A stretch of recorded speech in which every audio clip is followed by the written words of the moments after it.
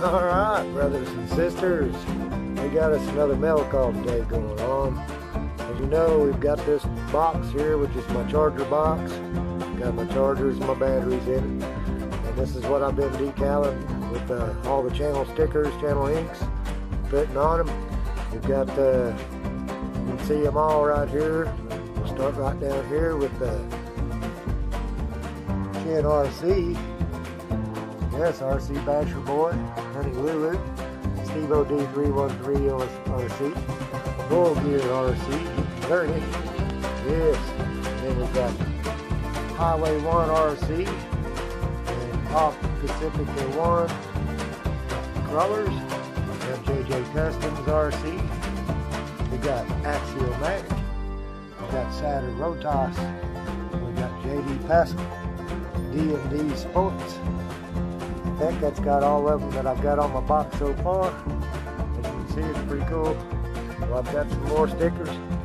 Some of these might not be exactly RC certified, but Abby the Spoon Lady, Chris Rodriguez, they sent me some stickers.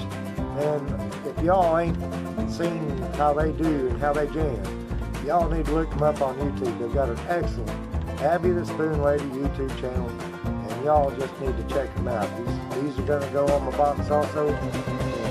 Box. And I also got a nice big bumper sticker there from Off Pacifica 1 Crawlers bumper sticker from Highway 1 RC Reviews. They sent me some more of their Highway 1 RC stickers and the Abby the Spoon Lady stickers. Man, I'm telling you, I am getting rich with these stickers, man. I'm loving it. Stuff is so cool. I'll be putting them on here. And as you can see, Spoon Lady for President and Chris Rodriguez. Uh, I'm telling you, Abby Spoon Lady, they rock, man. I'm telling you, they're pretty cool. Y'all need to check them out. I got a large array of stickers from them. Another large array of stickers from Highway 1 RC. Thank you. And peace out. Y'all have a good time for me to get back to work on my little project of uh, getting a new home. We thank y'all. Peace out, y'all. Have fun, RC.